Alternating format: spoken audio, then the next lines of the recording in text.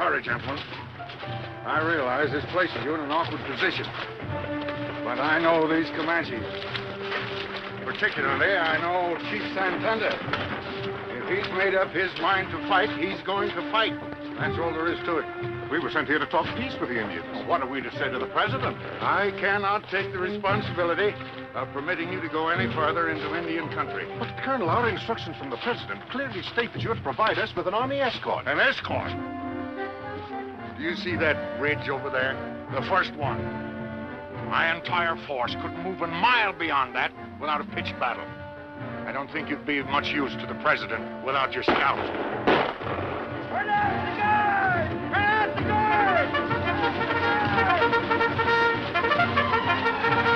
the! Sentry reports a mounted force of Indians, sir. It looks like an attack.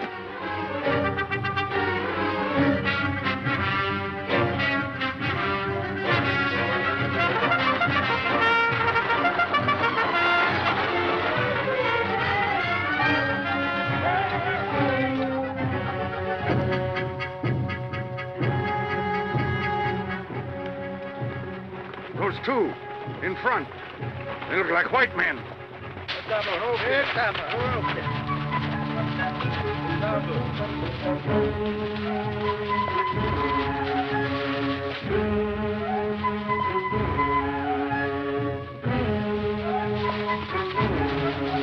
Why, those Indians are an escort. Hold your fire. Hold the fire! Hold your fire! Hold your fire!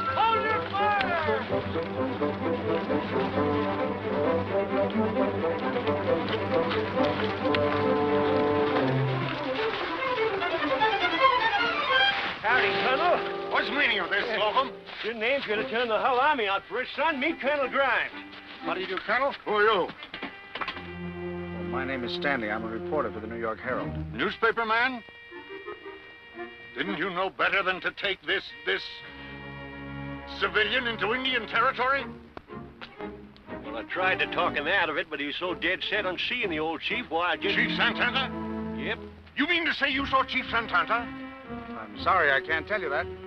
Come on, Jeff. We've got to get to the railroad and telegraph our story back to New York. Just a moment, Mr. Stanley. This is field headquarters for the United States Army. These two gentlemen are the President's peace commissioners. You'll oblige me by answering their questions. Sorry, Colonel, I can't do that. You can't or you won't. Well, if you want to put it that way, Colonel, I won't. Suppose I place you under arrest. Maybe that will change your mind. You won't arrest me, Colonel. I know my rights.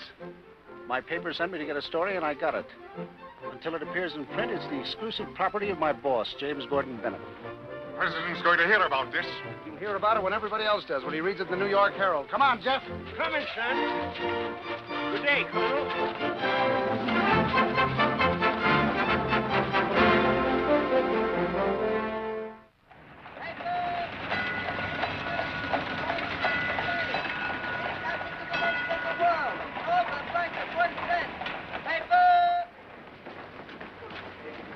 What's the matter, dyspepsy? Copy. No. I take these to help me mind my own business. Hurry! Yes.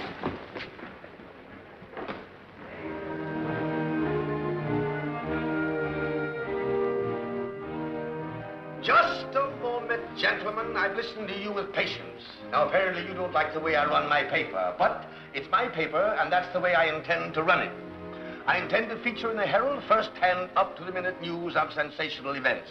And for your information, Senator, I intend to go on telling the truth about graft and corruption in high places. The more prominent the rascal, the bigger the news. And furthermore, gentlemen, I intend to continue making news while my competitors sit around waiting for it to happen. Now, suppose you get down to the business that brought you here. You came to buy me out, didn't you?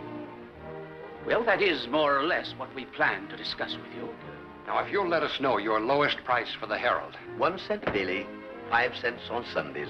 What is it, Albert? Mr. Stanley is here, sir. Well, show him in. Ben is waiting for you. Hello, Stanley. That was a great story. Thanks, Jim. Thanks. Welcome back. Ben is waiting to pin a leather medal on you. Was any of it true? Why, you know me better than that. Excuse me, Jeff. I made it up out of my own little head. Glad to see you. Hello, Mr. Stanley. Hello, Billy. Well, how are you? Say, say, were those real Indians? Why, the realest Indians you ever saw. Billy, I want you to meet Jeff Slocum, the best Indian scout in the whole Wyoming Territory. Howdy, Bub. Keep an eye on him for me, will you? But don't believe everything he tells you. Yes, sir. As a matter of fact, Billy, don't believe anything he tells you. Glad you're back, Mr. Stanley. How are you, Albert? Mr. Bennett's ready for you. Stanley, How are you, Miss Bennett? glad to see you. Thanks. Sit down. Another delegation from Boss Tweed still trying to buy me out. How about letting me do a series on Tweed and that gang of grafters sometime? I'm under the heading of amusement. Good job you did in Wyoming. Great story. Beat the town with it. Beat the whole country. See, how does it happen this man Slocum is still on your expense account? Well, he took care of me like a baby for four mm. months. I promised him a trip to New York if we came out with our hair still where it should be. It's on you. All right, all right. I'm glad you're still alive. Me too. Have a cigar. Thanks. Stanley? What do you know about Livingstone? Livingston? You mean the new bartender over at Joe's? No, no, no. I mean Dr. Livingstone, the missionary, the explorer. Oh, oh, Dr. Livingstone. Oh. Well, now, if you'd read a good newspaper once in a while, like the London Globe. Read that. Just come over the Atlantic cable. The London Globe's expedition to Africa to find Dr. Livingstone has just returned to Zanzibar from the African interior. Mr. Gareth Tice, leader of the expedition and son of the publisher, is prostrated with a tropical fever. The expedition, however, reports it has obtained positive proof that Dr. Livingstone is dead. Well, I guess that settles the old boy.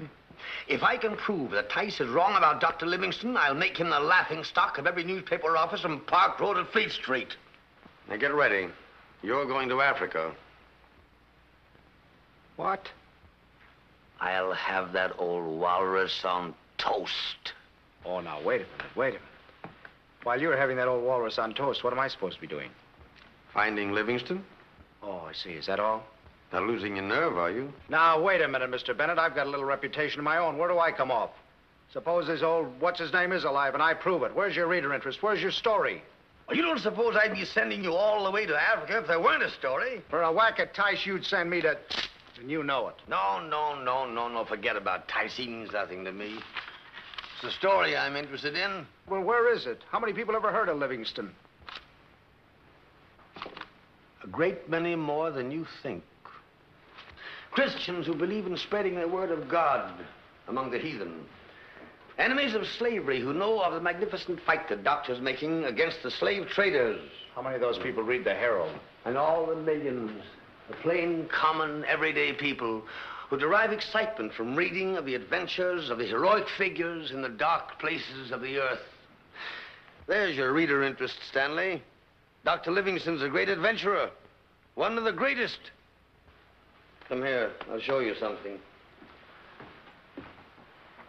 The dark continent, mystery, heat, fever, cannibals, a vast jungle in which you could lose half of America. A land which even the greatest conquerors never dared penetrate. Alexander, Caesar, the pharaohs of Egypt, none of them unchanged, untouched since the dawn of history. And somewhere, somewhere in there, a grand old man, a man of God, who's given his life to spreading light in its darkness. There's your story. A real story. But you don't think so. And besides, it would be extremely dangerous. So perhaps we'd better just forget about it. Let's see. You said you wanted to do a series on uh, Boss Tweed. Harper's Weekly has a young artist named Thomas Nast who's been doing some sensational cartoons on the Tweed ring. Better have a talk with him. Where was he heard of last? Oh, Tweed? Livingstone. Oh, somewhere in the Tanganyika district. You'll find Nast up at Harper's. How long would it take to get there and back? The Harper's? Tanganyika. Oh, a year or two, maybe three. Hmm. Just overnight. And you think it would make a great story? I mean, finding Livingstone. The greatest story in the history of journalism. If you get it. I'll go. The steamer Great Eastern sails for London on Saturday. I've already reserved passage for you. Draw $5,000 now, and when that's gone, draw another five, and that's gone, draw another, and another, and another. But find Livingstone. Suppose Tice is right and Livingstone is dead. Then there's no story. I think there is. I'll bring him back in alcohol for Barnum's new museum on 14th Street.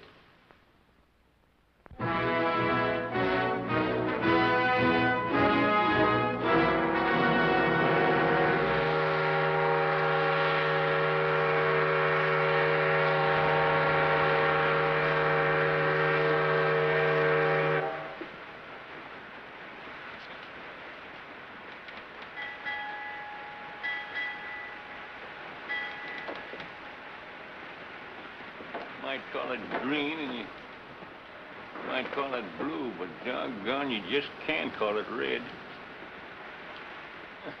Howdy. Beg pardon? I just said howdy. Well, how do you do? Uh, is it all always that color? What color? Well, it ain't red. As a matter of fact, it isn't. I ain't seen you before. When did you get on board? I came aboard last night at Suez. Yeah. You live in this part of the country? Beg pardon? I say, do you live down in this part of the country? No, my home is in London. London, huh? That's where those Englishmen come from, ain't it? Quite so. Hello there, son. Where you been? Oh, say, I want to introduce you to my young friend, Mr. Stanley. This is Mr. Mr. I I didn't quite catch your your name, partner. Tice, how do you do? Did he say Tice? What I thought he said. Jeff, if Mr. Tice is who I think he is, Bennett's going to raise your salary. Mosey around until I get back.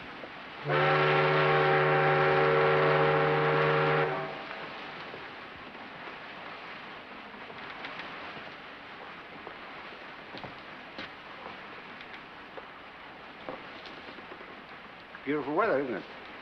Yes, yes, delightful. A little hot. Yes, quite sultry. Is that the uh, London Globe? Well, well, do you, do you mind if I look at this? No, of course not.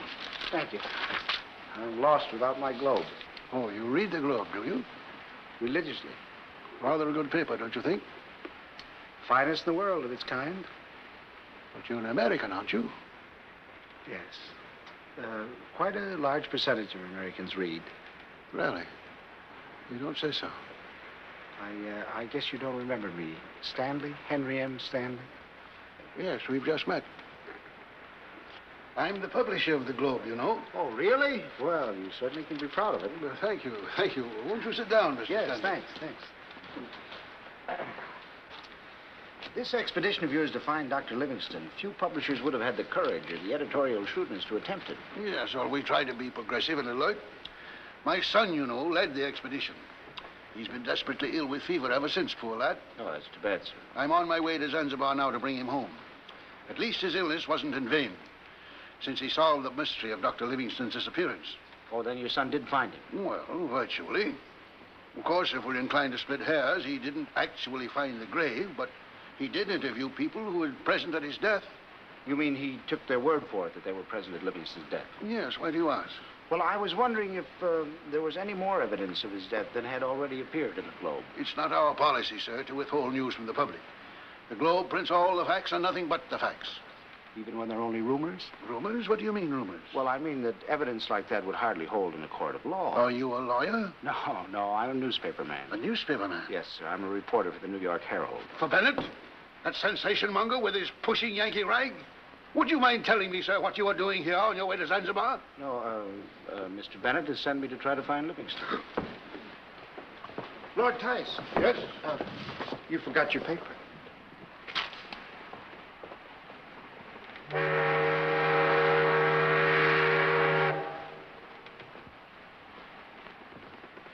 Got a match, Jeff? Yeah. This ain't no different color than them other oceans. Don't act no different neither. Nice and quiet now, but I get a feeling I ain't gonna enjoy this trip. Jeff, I got a hunch Bennett is right. The Globe story of Livingstone's death is nothing but a trumped up lie from start to finish. Yeah. Some people just ain't got no respect for the truth. Now, son, if you'll excuse me, I'll get some business.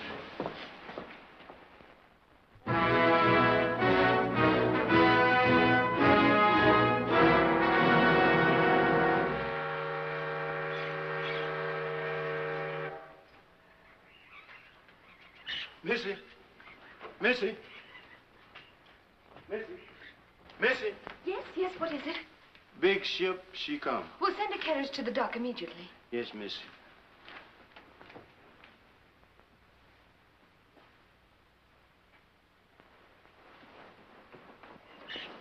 Father, the boat's in. Ah, splendid, splendid. Oh, you're such a sight. Darling, do be a dear and change your clothes and be brushed up when Lord Tice gets here. Who, my dear? Lord Tice. We're expecting him, aren't we? Yes, and you must make a good appearance. After all, while the consul's away, you're the representative of Her Majesty's government here. Yes, yes, my dear. To be sure I am. I'll wear my uniform. Well, Father, your uniform was appropriate when you were in China. But I've had your other suit all washed and ironed, and well, it will be so much better. Yes, yes, my dear, you're right. Quite right. All right, now. Come along, and please hurry. The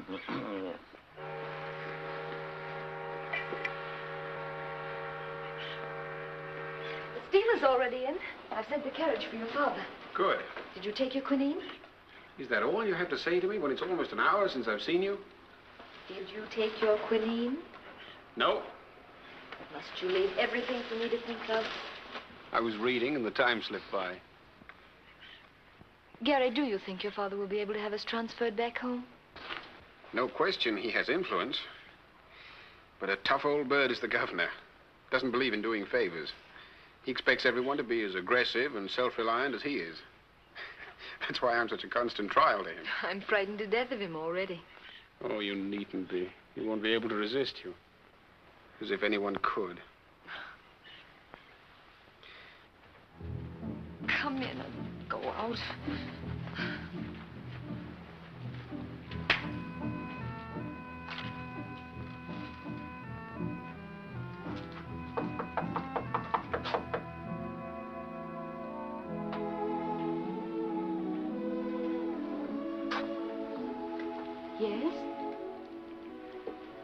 Beg your pardon. Is this Mr. Kingsley's house? Yes. I have some business with him. Are, are you Mrs. Kingsley? Miss Kingsley. My name is Stanley. I'm a reporter on the New York Herald. I see.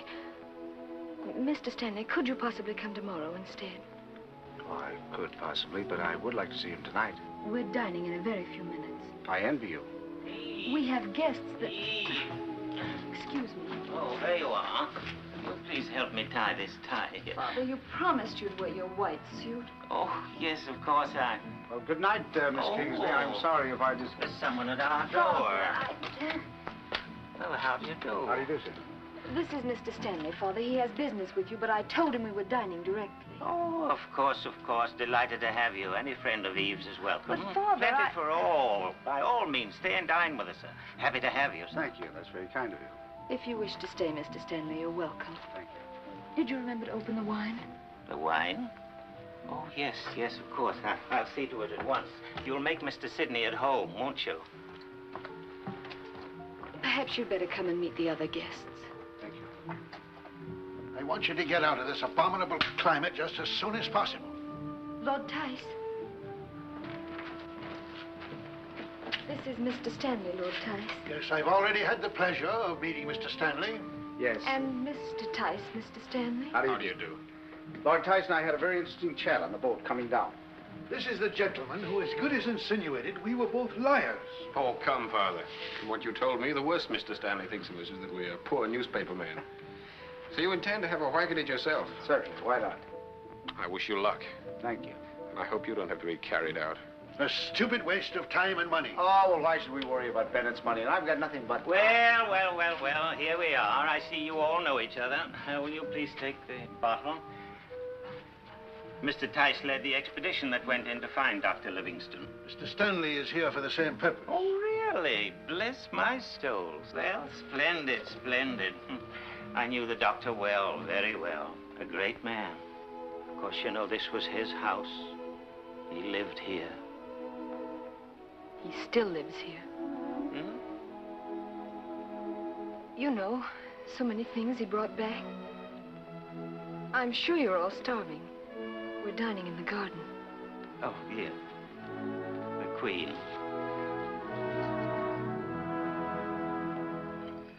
Lord Tice, you're not eating your papa. Can I get you something else? No, thank you. Papa is delicious. Mr. Stanley, may I inquire where the idea originated for this wild goose chase of yours into Africa? It was Bennett's idea. I think he got it from the London Globe. I thought so. I knew it. Another of his cheap Yankee tricks.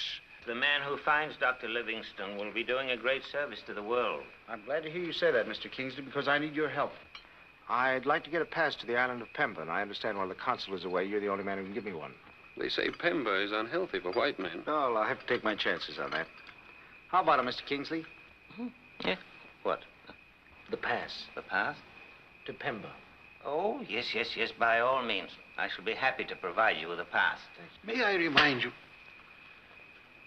You'll forgive me for intruding, Mr. Kingsley, but it seems to me you're taking on yourself an extremely grave responsibility. Mr. Stanley is not a British subject, and if anything unpleasant should happen to him, Mr. Bennett, his employer, is quite capable of asking embarrassing questions of the Foreign Office. Thank you, Lord Tice. I appreciate your concern. I relieve you of all responsibility, Mr. Kingsley. Oh, well, then, in that case, there can't be any possible objection. Father, Hmm? Yes, my dear. Mr. Stanley is a newcomer here. He knows nothing of Pemba or its dangers. If anything were to happen to him, you would still be responsible. Oh, yes, yes, yes. There's something in what you say, my dear. I think this is a matter for the consul himself to decide. But, Mr. No, no, no, no, my boy. Eve's right. When the consul returns, I'll put in a good word for you.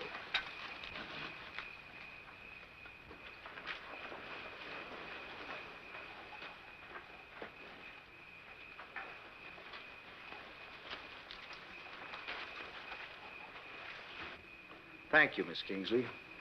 It was very nice of you to take in a poor, forlorn stranger and treat him so gently. My respects to your father and your guests. I will just go out this way. Thank you again for your help. That pass meant a great deal to me. Good night.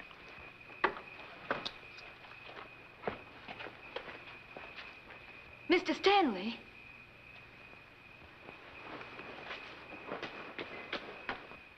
I. I'm sorry if I've ruined your plans. You seem to have plans of your own, Miss Kingsley. I had to do it to please Lord Tice. It's desperately urgent about my father. What's your father got to do with it? Well, I've simply got to get him back to England. Why? Well, you've seen him, you've talked with him, you know how he is. I don't see anything unusual for a man of his age. Of his age, he's barely 50. Africa has done this to him. It's killing him just as it killed my mother. And the cruel, pitiful thing about it is he, he still thinks he loves the place. He doesn't want to leave it. It's in his blood, just as it was with Livingstone and all the rest of them. That's what I meant when I said Livingstone still lives here. There's never a moment when his shadow isn't over this house. Oh, I know what he's done is fine and humanitarian, but everybody can't follow in his footsteps. And look at Father. It's only made him sick and bewildered and unhappy. I must get him away before it's too late. I'm sorry. I didn't know how things were. I wouldn't have butted in. Don't worry about the pass. I'll get along without it.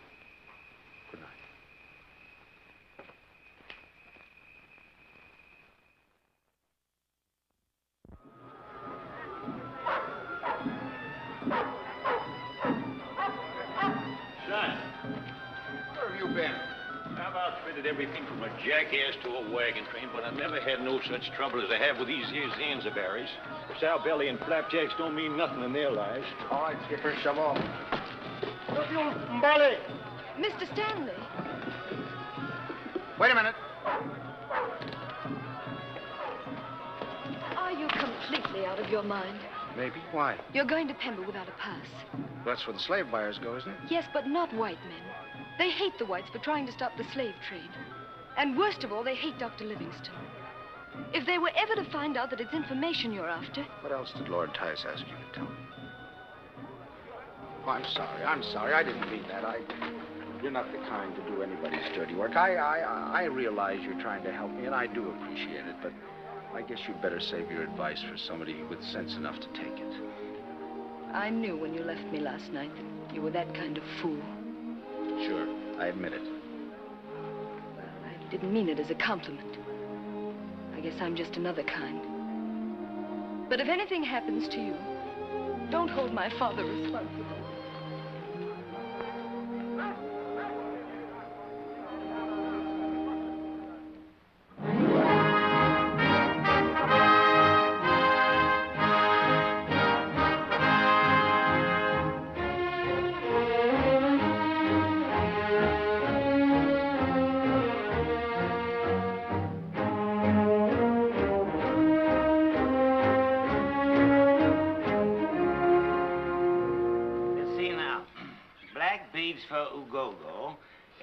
Beads for Uguha.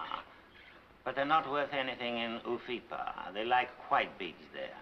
And of course, uh, brass wire and cheap cloth and mirrors are good as gold anywhere. Better, in fact. Uh, well, that's all. I, oh, oh, no, no, there's something I wanted to tell you, and I can't think what it. Oh, yes, yes, yes, yes. A letter for Dr. Livingstone. And please give him my warmest regards. No address on it, Mr. Kingsley. Oh, that's true. I, I don't know where he is now, or even if he's still alive. oh, and Eve said she wants to see you. She's uh, out in the garden. Oh, thank you.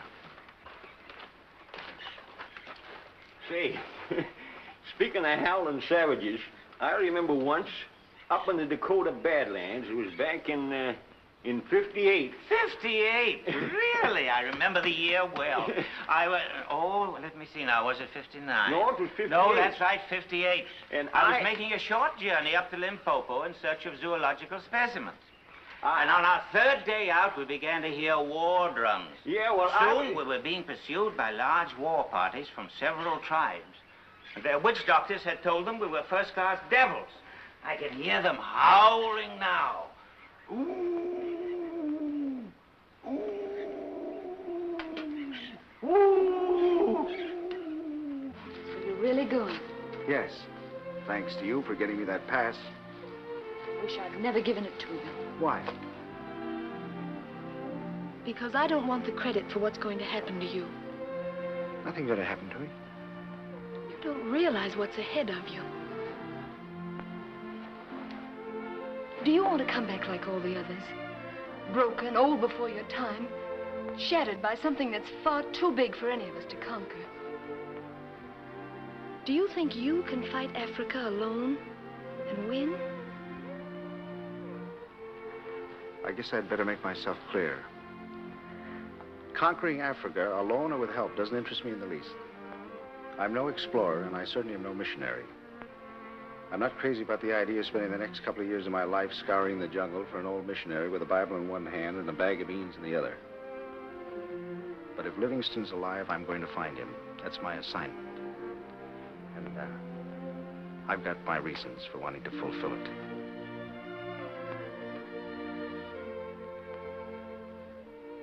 It is nice to know that you care what happens to me.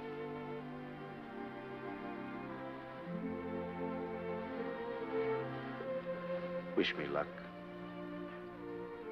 Oh, I do with all my heart. I won't forget that. Make way for Her Majesty's Horse Marines! Gary! Oh, Gary, that's wonderful. Well, how does it seem to be walking again? It gives me an earnest desire to sit down.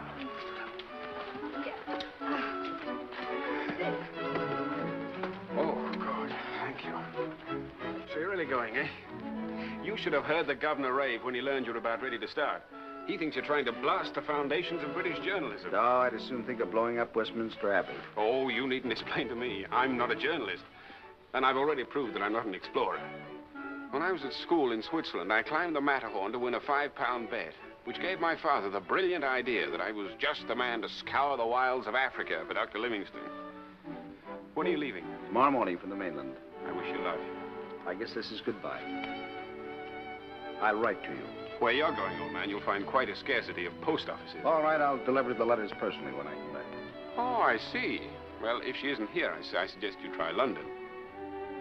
All right, I will. I hope everything turns out the way you want it for your father.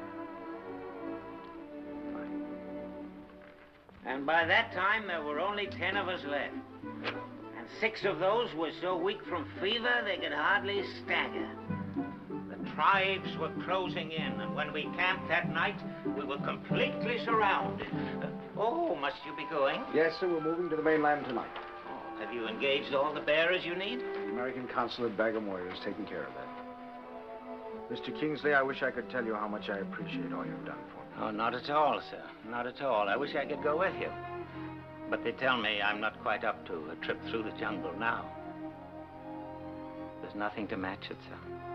Nothing to match it. Evenings in camp, a breeze cool off the plateau, a tropical river gleaming like silver in the moonlight, and the feeling of life around you everywhere. And more than anything else, the knowledge that you're thousands of miles from civilization, close to nature, as God made it.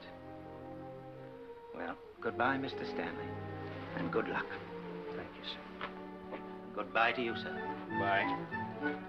We following his advice. Of course. He's an experienced explorer. Well, I don't know nothing about his exploring, but he sure is experienced at telling porpoise. Five days out. Weather clear but hot. Easy marching country. We have been climbing steadily ever since we left the coast. And the coolness of the nights proves that we have already reached a considerable elevation. Ahead lies the great plateau of equatorial Africa, a vast area of open country. We are the first to enter it from a point so far south. We are carrying what here in Africa amounts to a small fortune in trade goods. We are hoping to conserve our food supplies as much as possible by living off the country. Water is no problem. Abasi, Kuyenda, Kuyenda. This morning we saw our first game, a small herd of antelope. Although we have run across no dangerous animals during the day, their tracks are everywhere. And at night we have heard the lions hunting close to our camp, setting up a great coughing and moaning, but apparently afraid of our fires. Our guides tell us that they will only attack men when starving, so we have little to fear from them in this land of plenty. I would call this a hunter's paradise. The valleys are alive with antelope and other game, including some new species that have not yet been listed by the naturalists. Lately, we have begun to see giraffes, although Mr. Slocum claims there ain't no such animal. Kingsley was right when he said there was nothing to match it. This is no empty wilderness, but swarming with life. What old P.T. Barnum wouldn't give for a few of these specimens. This is the greatest show on earth. I'm afraid Miss Kingsley was inclined to exaggerate the dangers of the journey. We have had quiet days and peaceful nights in camp. Way up on a high hill, the cliff a thousand feet down. Tell them that. Here was me. Here was 500 Comanches. Say, you sure you're telling us exactly right? Yes, master. A thousand Comanches. نكوجة خمسمية تينا كماسي coming closer and closer and closer. Nikuja hapa and vile. Ni hapa and hapa. You say scalp in your lingo? Yes, master. How do you say it? Kamasi. Now, Kamasi, well, tell him the Indians was trying to get mine. Bang, bang, bang, bang, bang, bang, bang, bang, bang, bang, bang, bang, bang, bang, bang, bang, bang, bang, bang, bang. All the Comanches skedaddled like Billy Blue Hill.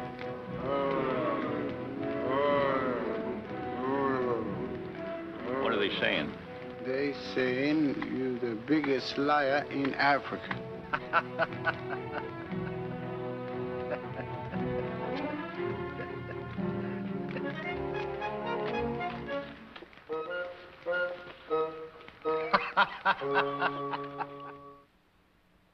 I had always thought of Africa in terms of jungles and sweltering heat.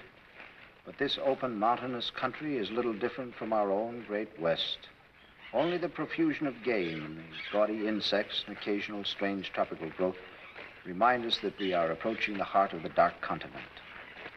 Today we reached Ugogo, a well-populated region inhabited by a thick-chested, bumptious tribe who introduced us to the ancient African custom of honga. Honga means tribute, beads, cloth, and wire. graft for the chief from all caravans passing through his territory. Apparently, the spoil system is as well established in Africa as in New York. But the local boss Tweed is a friendly old crook who is willing to provide us with food and guides for the next stage of our journey at just double the regular price. Master, he say he know where the white man is. Where? Village Basha, Two Moon Marsh. Tell the men to start packing. Find out all he knows. Tell him to pick him up and let's get going.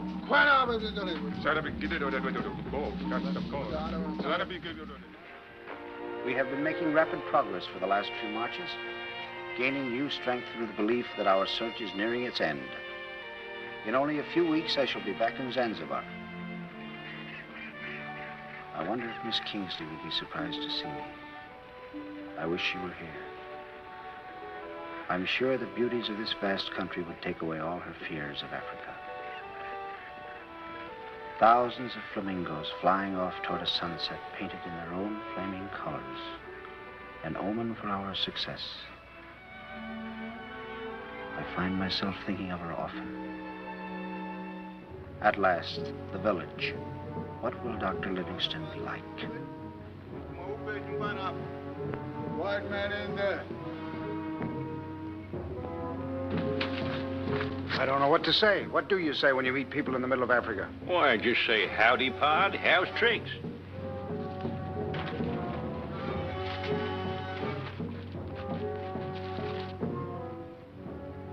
Yami, Panini. He's not white man, he's albino. Let's get out of here. Uh, You mean he's a black white man? No, he's a white black man.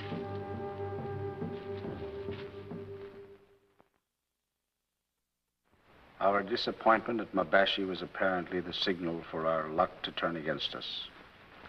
Last night, another man was carried off by a lion, and two more died of dysentery, our worst enemy.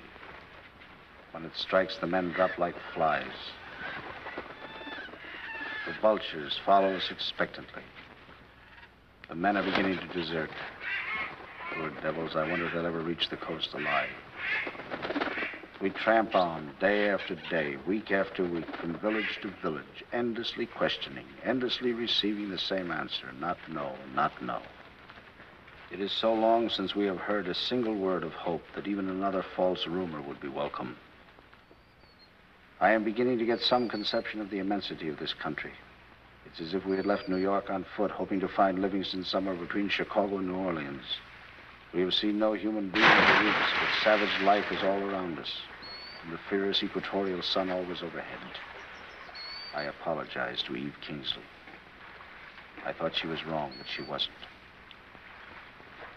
I wonder why she was so anxious to help me. Me, a stranger who was never anything but a nuisance to her. She tried to save me from this. I wonder why. Maybe it was only because she knew that white men don't belong in this country. Livingstone must be crazy. If he is alive, and that I am beginning to doubt. But I must never confess my doubt. I don't want the men to know that I am becoming discouraged. They call me Bula Matari, which means breaker of the path. I will not betray their confidence in me. Today we saw our first human beings in over three months.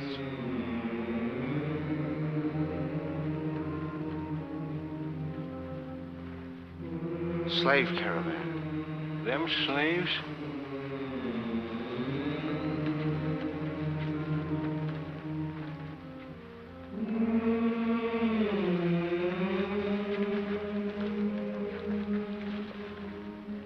You and Hassan stay with the men. Yes, master.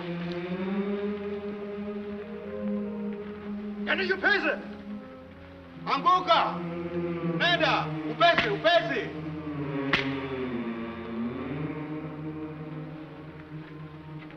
مرحبا. How do you do? Speak English? ما بفهم شو تقول يا جدع. Hassan. السلام عليكم. عليكم السلام. شو جا يعمل هون بالبلد؟ You say, surprised there are white men in this country. Ask him if he knows the way to Tanganyika. تعرف وين بلد تنكينيكا هذه؟ تنجنيكا هيدي بلاد بعيدة بعيدة كتير. بضل رايح من هوني. أنا هذا جاي من البلاد الأونيون يمبي. أحسن وين. He said he just come from there. The place they call Yambyambe, Full Moon March. It's the only best way to go there. He said to go through the Yambyambe. Ask him if he saw another white man. شافت الرجال الابيض اول مره شا- اسمه دكتور ليفيسون ليفينغستون لا ماني مش شايف رجال ابيض بالخالص بهالبلد He never see before a white man in this country. Give him my thanks and go back to the men. السلام عليكم مع السلامه عليكم السلام Allah That's a funny lingo. I never heard that before.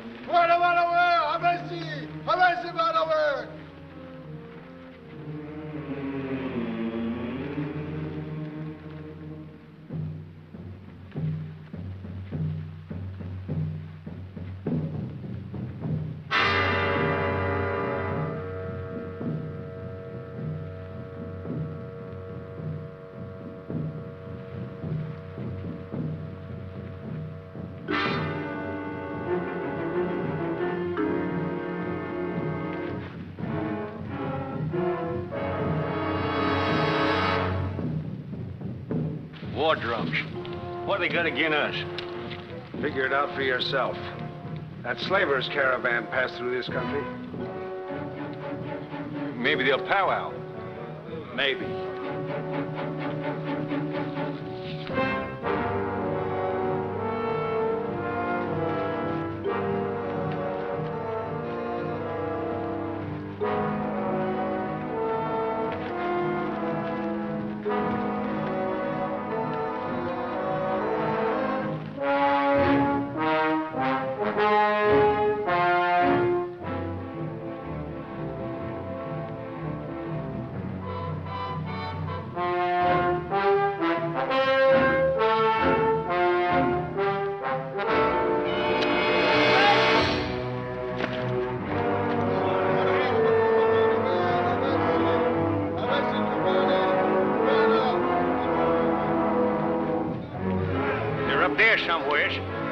Take them up the far side. Come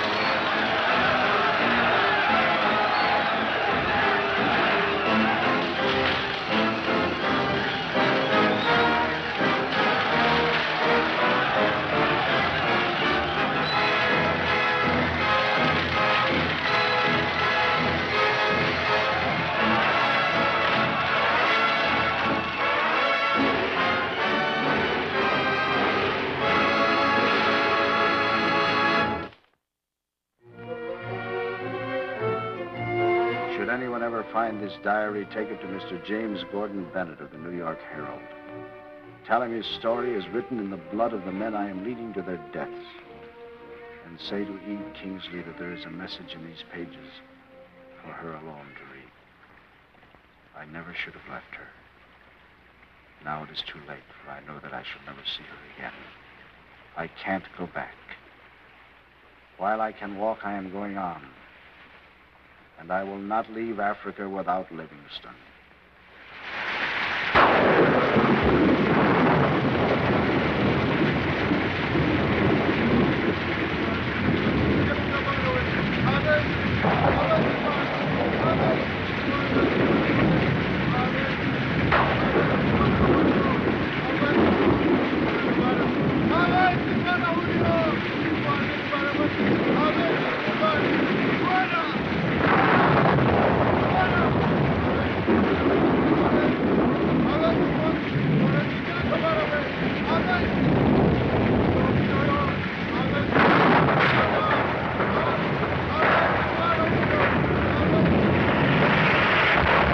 Hassan, what's the matter with the men? They say they're gonna stay here, they won't go no far. Are they crazy? They say they're gonna stay here, they're gonna die. If they stay here, they'll die a lot quicker. There's fever there's fever.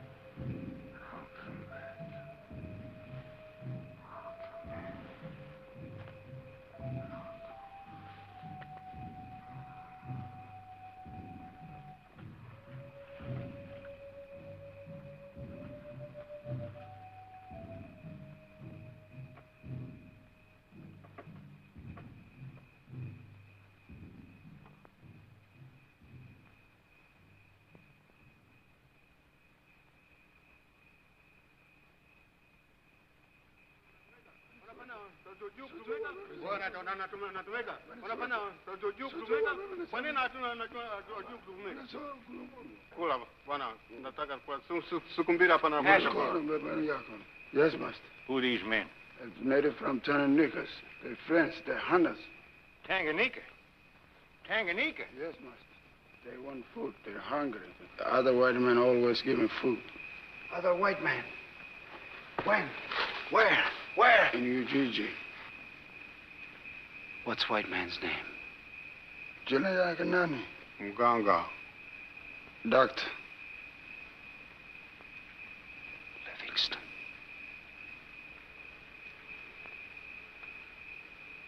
Give them food. Give them whatever they want if they guide me to Ujiji. You stay here with sick ones. Until I send for you, come back. I'll push on with a few men. Tomorrow? Now.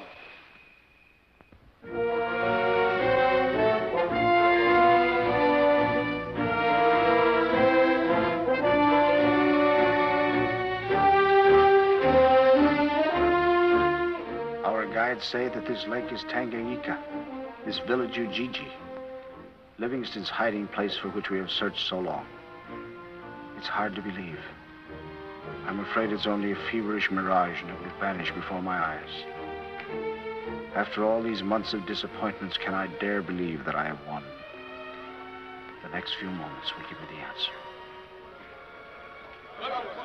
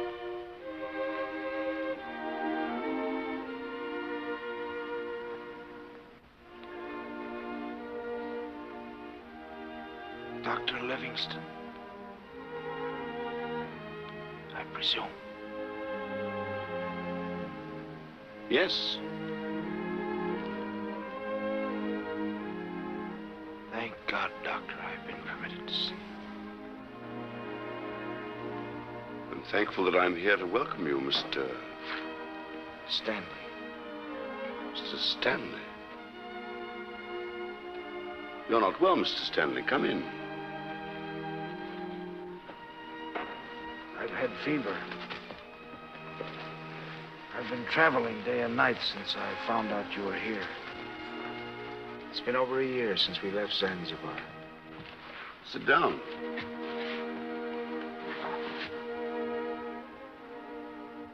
Then it isn't merely luck that you came. No. No, I came to find you, Doctor.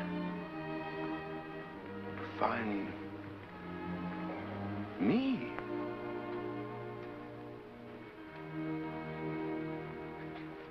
Susie! We, we, we have a guest for dinner. Set another place. Yes, master. So long since I entertained that I... Shuma! Shuma! Nothing short of a banquet could do justice Yes, to this master. occasion. Juma, this is an occasion. We'll, uh, we'll have the fatted pig for dinner. Yes, master. You come from Zanzibar, you say? Njoo hapa. Tazamini sana. Wetu mtu. Niupe.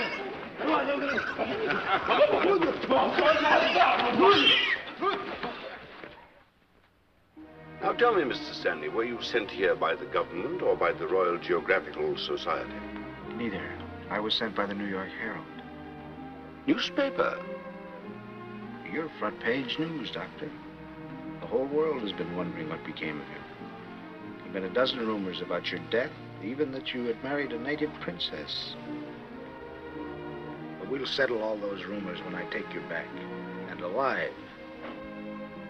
Then the only reason that you were sent here was to get news for your paper. That's right, Doctor. How can I help you?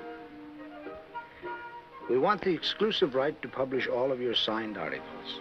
Naturally, we'll pay you for them. When we get through building you up, you'll be a sensational attraction, the hero of three continents. Of course, you can make your own engagements, uh, lectures and appearances, whatever you like. I see. I'm not ungrateful, Mr. Stanley. But you see, I'm neither lost nor am I hiding. If I had intended to go back, I should have done so long ago. I have no intention of leaving Africa until my work here is finished. Oh, I know how you must feel after undergoing such hardships to discover that the man that you were sent out to rescue has no desire to be rescued. But then you see, I have been disappointed too. I thought that you'd been sent out to help me. No matter, I mustn't quarrel with the good fortune that brought you here. Master, Dintor is safe.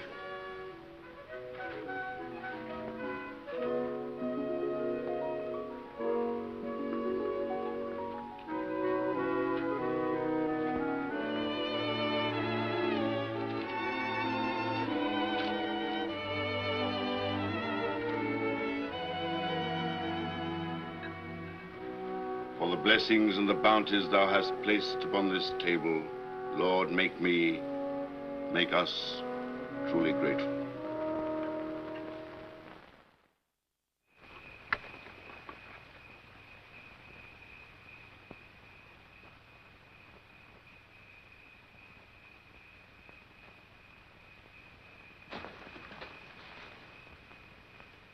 What are you doing there?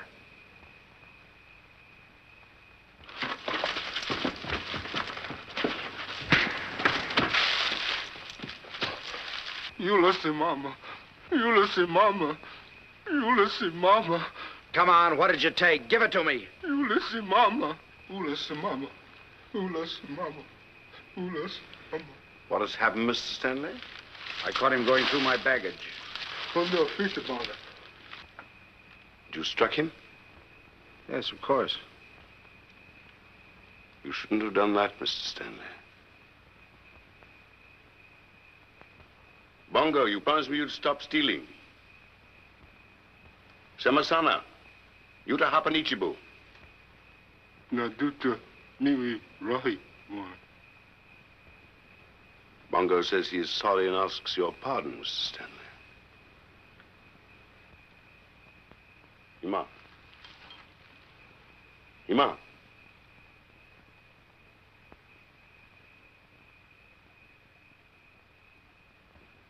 Andraka.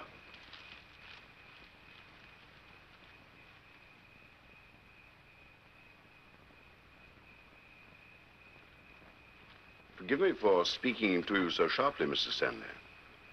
You should never strike one of these simple people. They respond in kind to the treatment they receive. They know enough of brutality without white men teaching them more. Bongo is making excellent progress.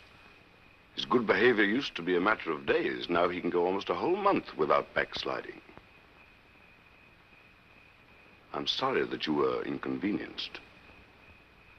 Good night, Mr. Stanley.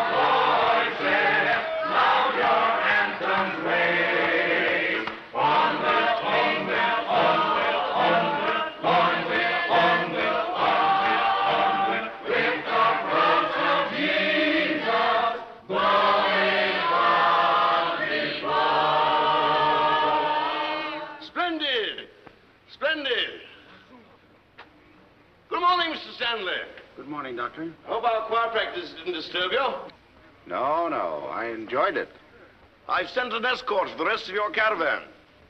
Thank you. When you want your breakfast, just call Chuma.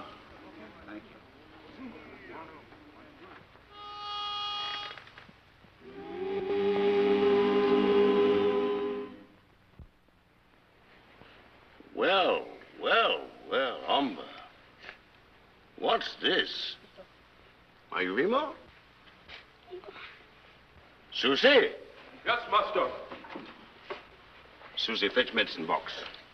Now, come on. Let's have a look at it. There. Now, lie down. Dinuska Kotoska. That's it. Chuma, plenty of hot water. Yes, master.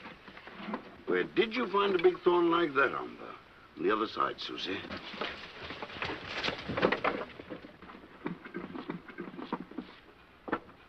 Ah, Mr. Stanley. Would you mind lending a little moral support? Gladly. Umber here is a soldier, but he's got a thorn in his foot. It's gone pretty deep. And even a soldier needs a little encouragement, you know?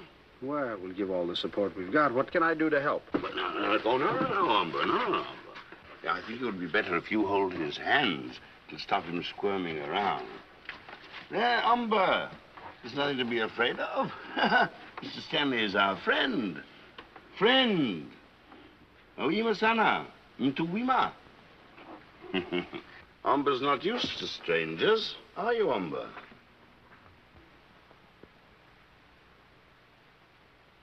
You see, in the language of his tribe, stranger and enemy are the same word. Disinfectant Chuma. Now then, pete teka. Pete teka, Umber. Steady now. We ran out of carbolic two years ago. We found that the bark of one of our native uh, the bark of one of our native trees had remarkable healing qualities. We haven't had one case of infection since we used it. Steady now, Umber. Pete teka. Pete teka. Now then, let's see what we've got here. Ah, it's better.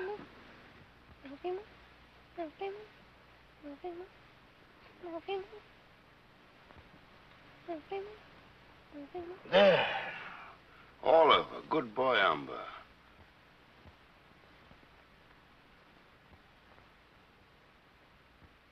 Good boy. Nice and clean. Disinfectant. That's it. And the wound. That's it. That's the way. Umber will help. He's in splendid physical condition. His father was a Manyema cannibal. If Umber hadn't come to live here, his teeth would have been filed by now. They're fine people, the Manyema, in many ways. strict sense of honor, magnificent physical specimens. They have a great capacity for leadership. Someday Omba will be a great leader, teacher. Ah. Now keep the bandage on or you'll get dirt in the wound. Very proud of. He has real talent. From what I've seen of Africa, I'd say you've got a job on your hands. Oh, it's much the same in any new country. How do you suppose America looked to the first settlers who saw it only as an unknown wilderness teeming with hostile savages? Well, that's our trouble here in Africa. Thank you, Trooper. Susie, bring my map case. Yes, master. White men have seen Africa only through the eyes of ignorance. And that means through the eyes of fear. You're a newspaper man, Mr. Stanley. You know something of human nature. I may be in the market to learn something more. What keeps the white man away from Africa? Mm, a lot of things, I guess. Fear. Fear of the unknown. Thank you, Susie. Fear of a blank space on the map. Fill in that blank space, drive away that fear, and let me show you. this is the watershed for the whole continent. From here spring the great rivers that find their way to the Atlantic, the Indian Ocean, and the Mediterranean. Solve the mystery of those rivers, the Congo and the rest. Above all, solve the mystery of the source of the Nile, which has puzzled geographers since the days of Ptolemy, and you drive away the clouds of ignorance and fear. Give the world an honest, accurate map of Africa, and it is no longer the dark continent. Then others will come, not only missionaries, doctors, teachers, pioneers. They will bring civilization, drive away the slave trader, and spread word of the brotherhood of man in a continent which never before in all its history has heard one single syllable of kindness or hope. Well, I must say, Dr. Livingstone, you're not exactly my idea of a missionary. Mine is a much maligned profession. It is possible, you know, to serve one's God faithfully without entirely losing one's human perspective. Now, if you will excuse me, it's time for Sunday school.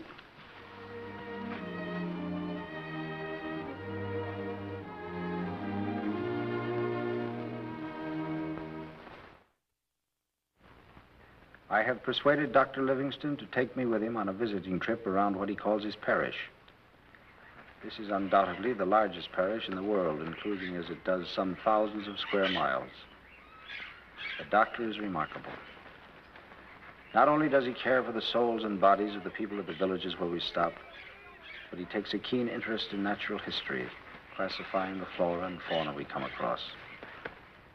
Yesterday, we found a new and beautiful kind of bird, which we have named Eve Kingsley's egret, uh, after the daughter of the doctor's old friend. Also, we have made several side trips of exploration. His eternal quest to fill in those blank spaces on the map. There. Now we know for certain that the Rusizi River runs into Lake Tanganyika.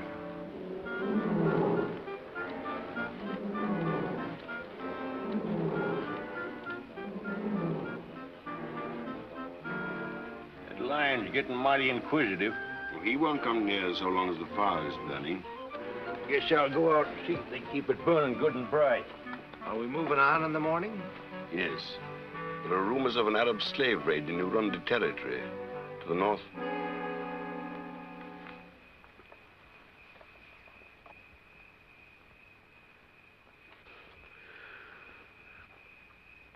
Doctor. Yes, it's, uh, it's just recurrent fever.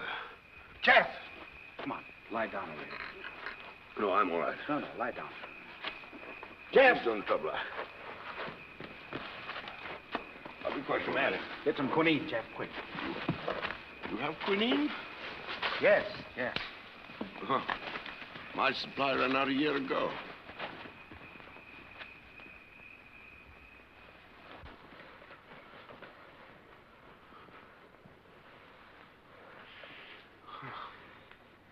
You never told me you had had fever. I haven't had an attack for some months now. I suppose it's in the bones. Well, I know one thing, Doctor. When I leave Africa, you're going with me. No, my son. If I left here, I should never come back. This is my life, my work. I. I shall stay here until I die. We are returning to Ujiji. Never in my life have I known a man so uncomplaining. Even though he is racked with fever, he is already planning his next expedition, his next achievement. I thank God I have been permitted to know him.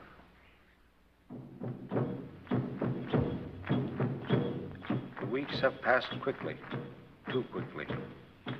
But all good things must come to an end. Tomorrow, Jeff and I are leaving on our return journey to the coast, and all Ujiji has turned out for a farewell party in our honor.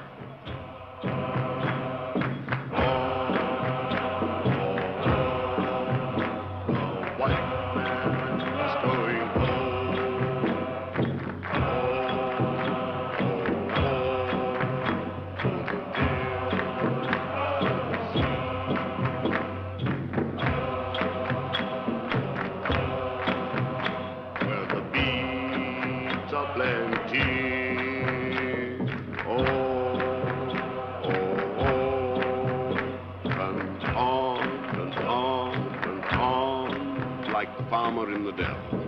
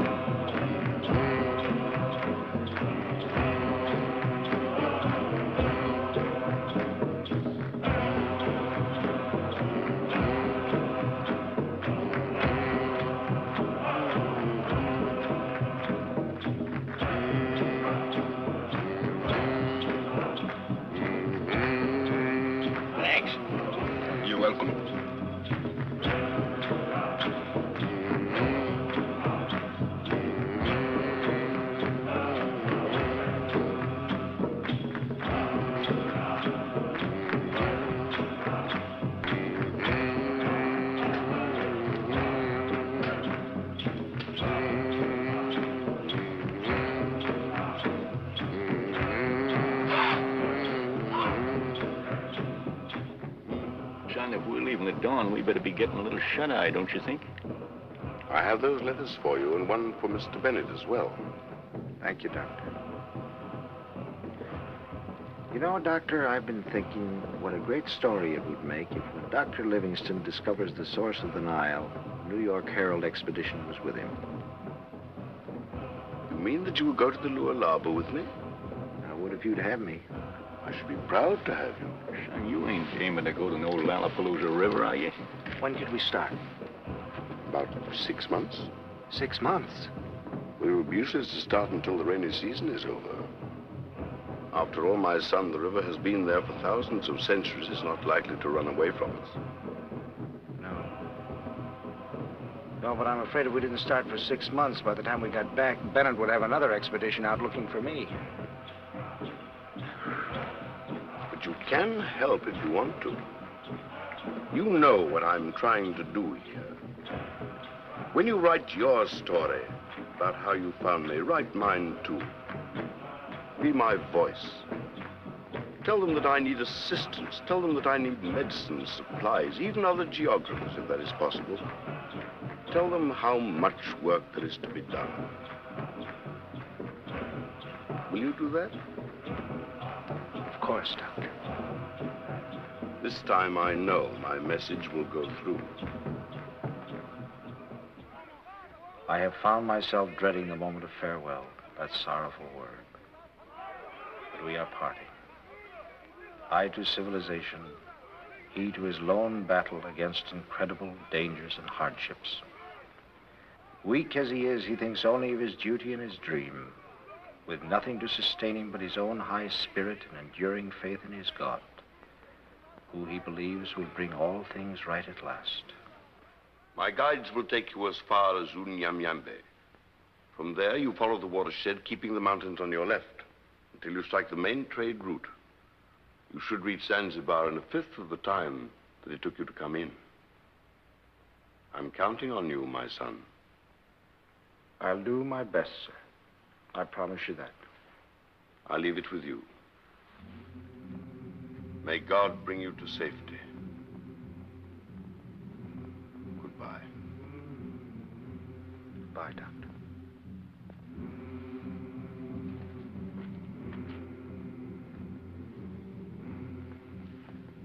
Oh, Doctor, I, uh, I almost forgot. Uh, would you give this to Bongo if you think he'd like it? I'm sure he will be most grateful. Thank you.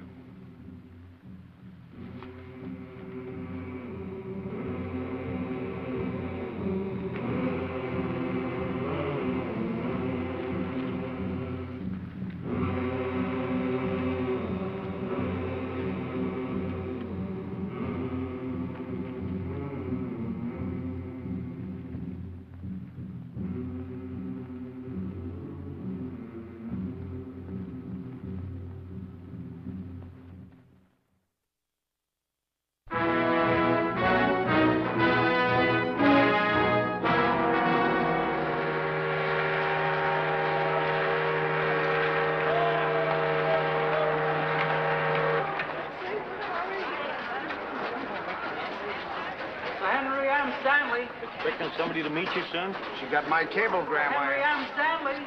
Here? Here. Are you Mr. Stanley? Yes. Cablegram for you. Thanks.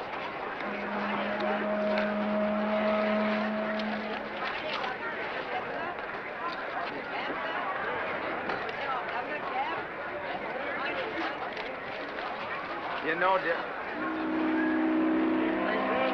Take your paper, evening paper. Sir, tells all the latest... There she is. Uh, Come on.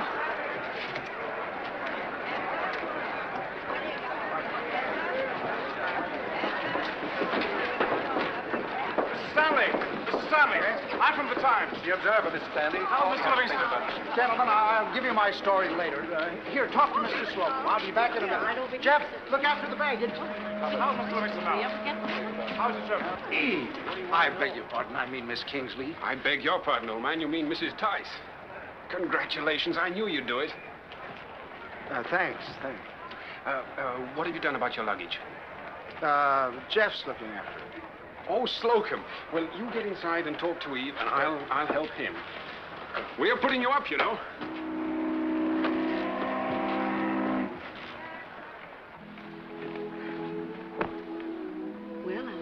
I'm, glad to see you back.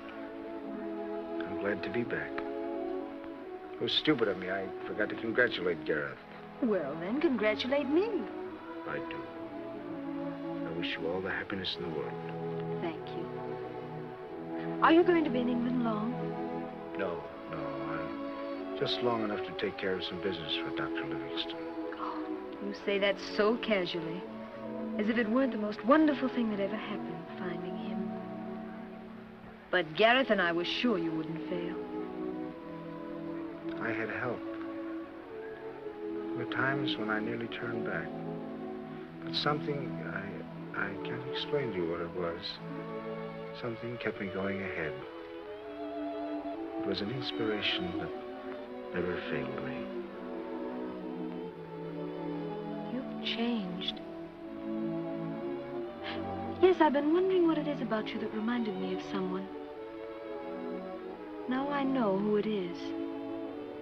It's Dr. Livingstone. Dr. Livingstone? Yes. You have that same look about you.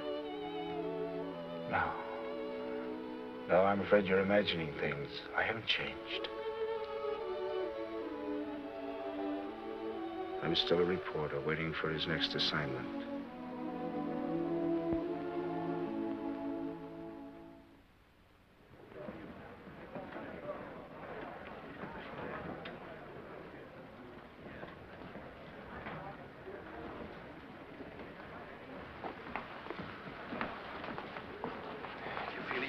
Entering the sanctum sanctorum?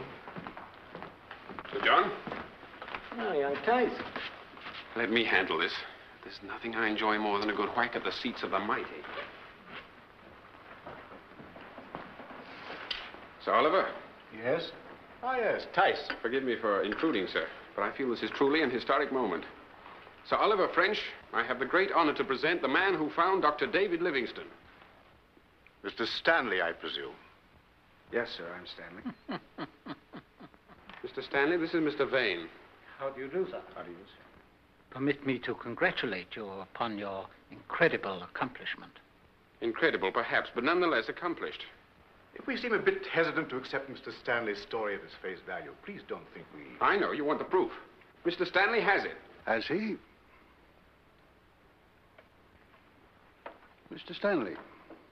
Lord Tice? Did I understand my son to say you have proof that you found Dr. Livingstone? Yes, sir. I have the documents here.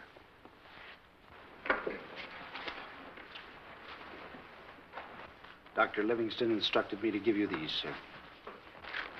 Mm-hmm. An imposing mass of evidence, I must say. If it was compiled by Dr. Livingstone. Oh, Father, for heaven's sake, be reasonable.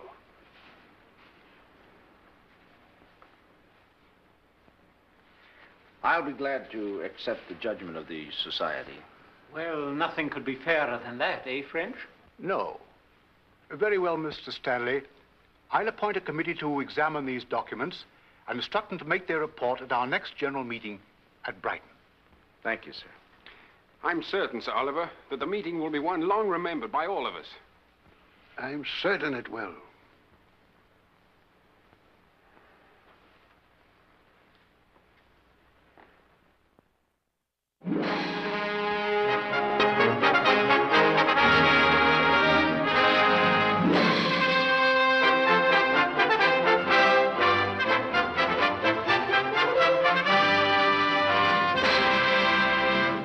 And I have here one of the letters Dr. Livingstone is supposed to have entrusted to Mr. Stanley. And here is a letter which I personally know was written by Dr. Livingstone some 15 years ago when he was in England. I have carefully compared them, and in all honesty, I cannot conclude that they were written by the same hand. Would you say, Mr. Cranston, that they were written by two different hands? Yes, I should say so. But can't we assume that the trembling hand of an old man racked with fever will produce a different character of writing from that composed by a man in his prime, as Dr. Livingstone was 15 years ago? That's an assumption, sir, not proof. Thank you, Mr. Cranston. And now, gentlemen, the maps which Mr. Stanley claims were drawn by Dr. Livingstone have been examined by the expert cartographer, Mr. Frederick Holcomb. Uh, Mr. Holcomb.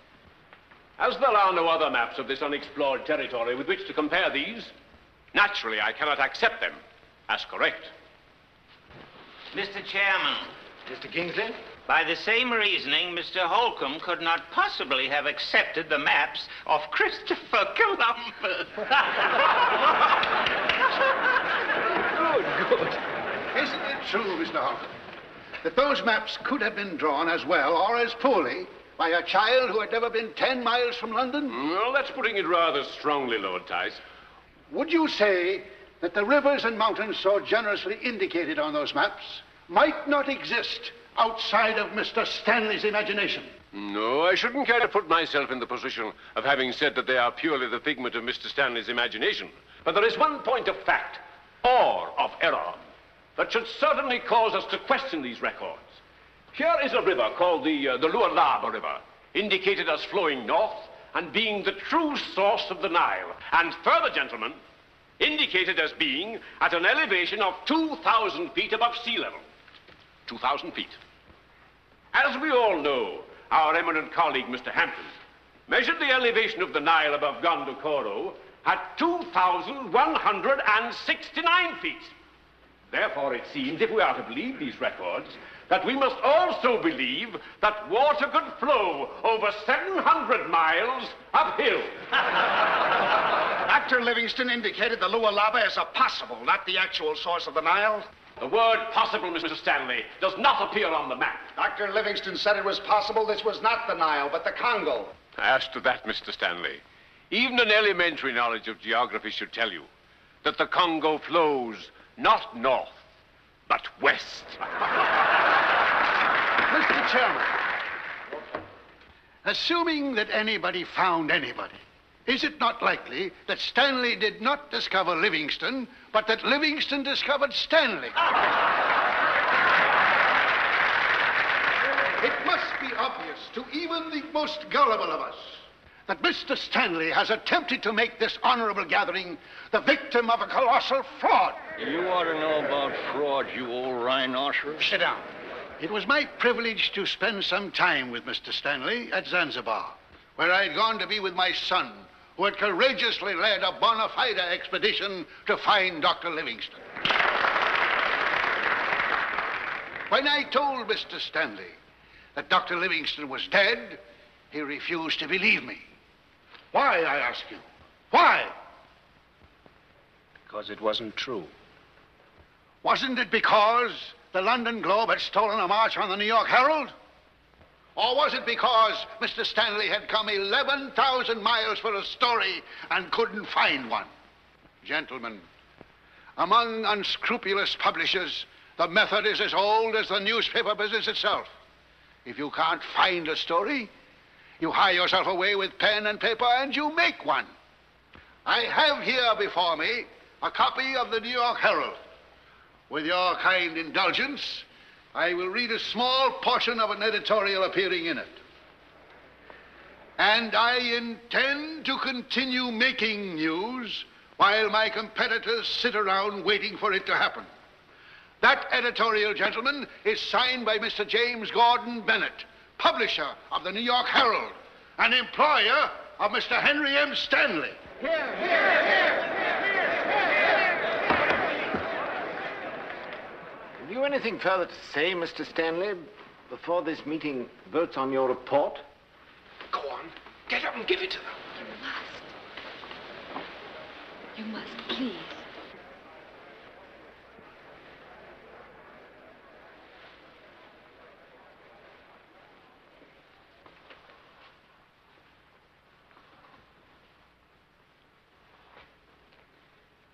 Mr. Chairman. And I feel that I should say, gentlemen of the jury, since you have seen fit to turn this hearing into a trial, I stand before you accused of being a cheat, a liar, and a forger. Unfortunately, gentlemen, when you question my integrity, you nullify at the same time the discoveries of Dr. Livingstone, and you condemn a great man to oblivion. A great man whom this honorable gathering seems determined to wipe out with a vote. Although today he is still roaming the jungle and swamp, alone and fever ridden, accomplishing more in every single day than you in your combined lives will ever accomplish. You armchair geographers who have never explored anything deeper than a plum pudding. I realize that this hall is charged with prejudice, and to raise my voice here is to cry out in the wilderness.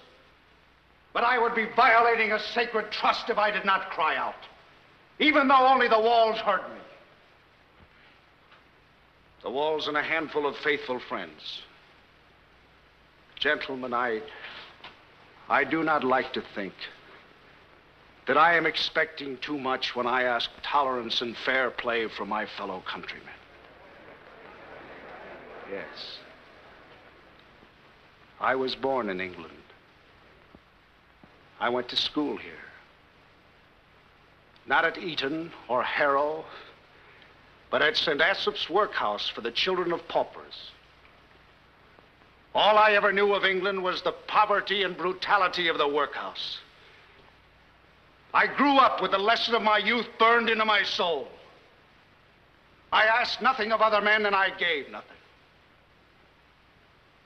A year ago, in darkest Africa, I met a man who restored my faith in the England I had learned to hate as a child. And now you gentlemen are destroying the faith he built in me. As you seem bent on destroying every other great accomplishment of the greatest man I have ever known. Dr. Livingstone is out there. He is old and he is sick. And he needs your help to carry on the great work he has undertaken. The work that is indicated, however inadequately, upon those maps. Reject those maps, withhold your aid, and you destroy him. Reject those maps, and you close Africa for generations to come. Reject those maps, gentlemen, and you break faith with the greatest geographer and one of the greatest men of our times.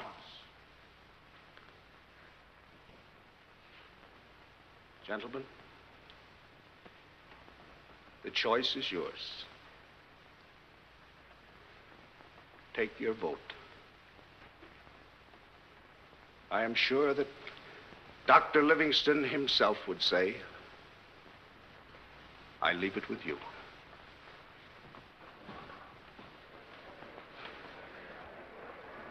Oh, that was glorious. Fine words, Mr. Chairman, but still not one word of proof.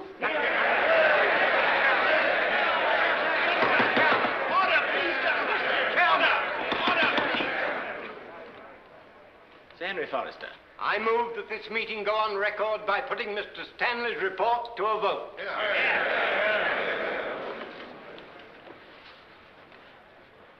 Gentlemen, all those who are in favor of accepting Mr. Stanley's report, please rise.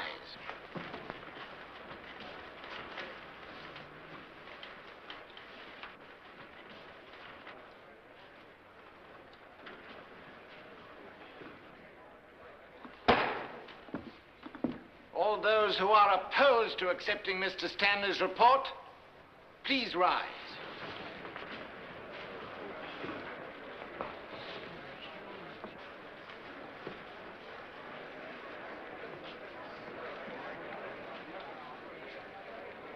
Gentlemen, the verdict is clear. It is the sense of this meeting that Mr. Stanley's claim be rejected. The chair will entertain a motion. Sir John! Sir John Gresham. Yes, what is it? A message from Burris. Well, son, I guess you know now how I feel when people won't believe what I tell them. Stanley! Stanley! They're calling the meeting back to order. What of it? Something's happened. We'd better go back. Come on. I've just received a communication from London which I feel is of the utmost importance. I will read it to you without comment. It is from Lord Bellhampton and is addressed to me. Sir, a message has just been received from Zanzibar. The body of Dr. David Livingstone has been brought to the coast by native bearers. Dr. Livingstone died several months ago on a journey to the Lualaba River. That is not all, gentlemen. The letter goes on. The bearers also delivered to the British consul at Zanzibar a last message written by Dr. Livingstone, in which the doctor mentions Mr. Henry M. Stanley.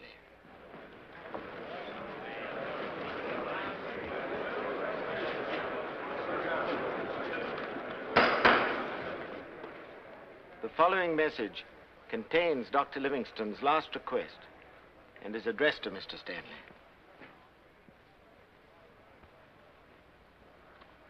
Too weak to go on. Have asked that my heart be buried here, together with my dreams. My son, the torch has fallen from my hand. Come and relight it. Mr. Chairman? What, Tyce? Mr. Chairman, I have the very great honor to propose the previous resolution be stricken from the minutes of this meeting, and that we accept Mr. Stanley's report. And with our acceptance, tender him our humble apologies for our stupidity and bad manners, in which I, Mr. Stanley, have been the greatest offender.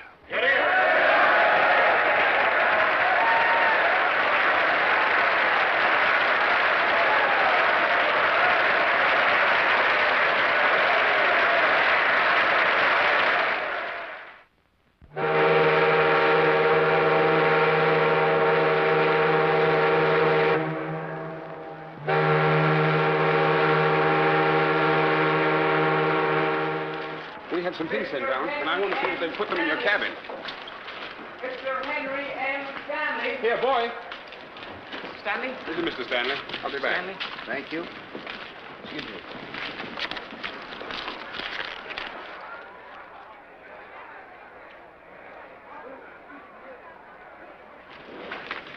From Bennett, the third today. I don't seem able to convince him I'm not coming to New York. I guess I'll have to name a mountain or something after. Oh, ashore? Well, I guess I'd better get aboard. I won't try to tell you how wonderful it's been to be with you and Gareth.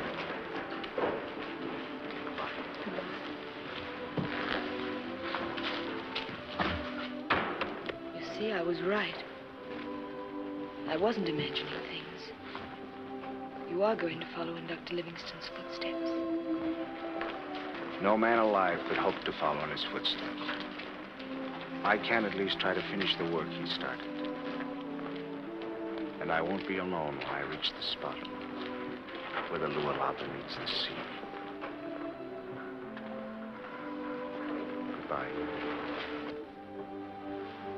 Goodbye, Henry.